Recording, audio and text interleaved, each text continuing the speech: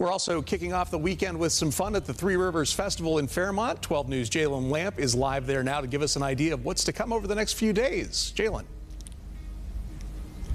Hey Eric, I'm in Fairmont at Palatine Park where the Three Rivers Festival has taken over. It all kicked off yesterday with the grand feature parade followed by the opening ceremonies with no slowing down in sight.